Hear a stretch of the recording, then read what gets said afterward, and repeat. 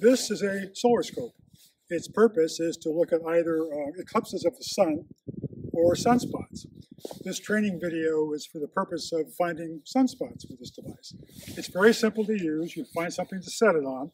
You want to get your back to the sun, so it's shining on this board here, in the middle of which is an objective lens. The sun will shine through it until you find a little white dot there being projected onto this board. What you want to do now is simply move the board until that white dot is right in the middle of that lens. Now you will see a projection of the sun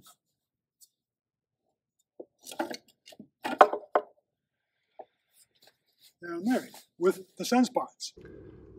Now this is a close-up of that image and you can see the sunspots.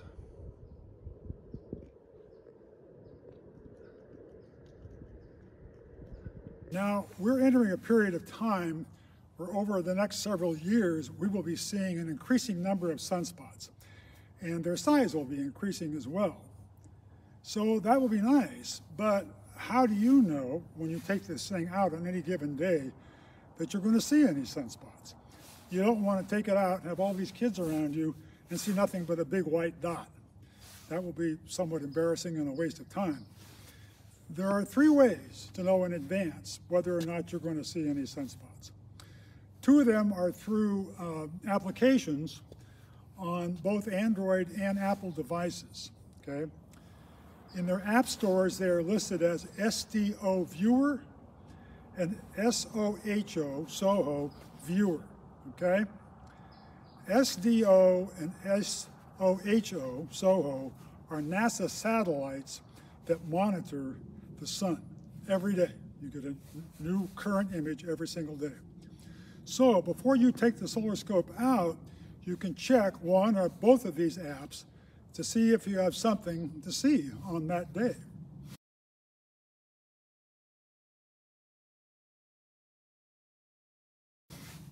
There's also a website, uh, which I'll show you, that you can go to in addition to these two apps. These are the two uh, applications on my iPhone, SDO and Soho. We'll try SDO and see what we get. Okay. Um, these are uh, images from today. They're updated daily. So we want the bottom left there, the photosphere, and there it is. And you can see the sunspots there at the 4 o'clock position. So if you see something like that, you'll want to take the scope out. The third way of checking to see if you have any sunspots on any given day is to go to the Soho website. When you get there, you go up to that top menu bar where it says Data Archive and you click on that. On the menu, drop-down menu on the left side of the page under Real-Time Images, the first item is The Sun Now, and you click on that.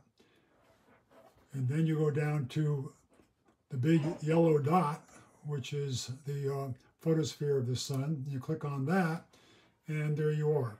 And you can see the sunspots um, there at the 4 o'clock position for today. If, however, you see this image, a big dot with no sunspots, uh, you probably won't want to take the scope out that day. This image was taken from the SDO viewer three days after the previous image.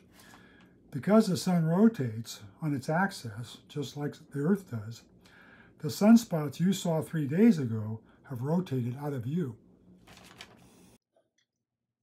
One of the problems you might encounter with this is finding something stationary to, to put the solar scope on. The um, stool right here works pretty good either way it doesn't slide away. But sometimes if you use a chair like this, Bo, you want to bring that chair over? Okay, and use that, it'll, it'll have a tendency to push the chair away.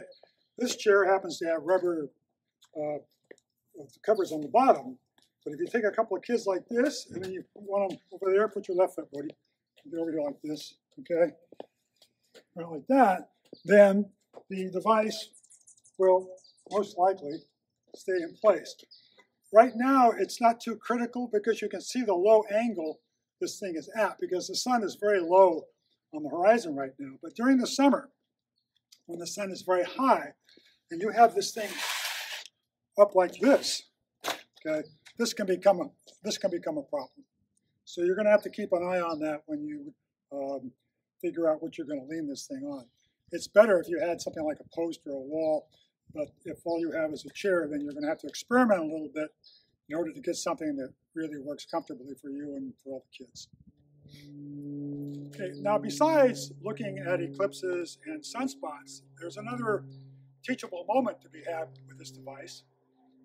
Um, as you look at the sun, uh, what do you see happening? The sun is moving. The sun is moving. Is the sun moving? Uh, No. The Earth is rotating, so it appears the sun's moving, Ah, but we're actually the Earth is rotating, Yep. and so it appears that the sun is moving. Good, good. As you can see down there, the uh, sun is moving, or appears to be moving.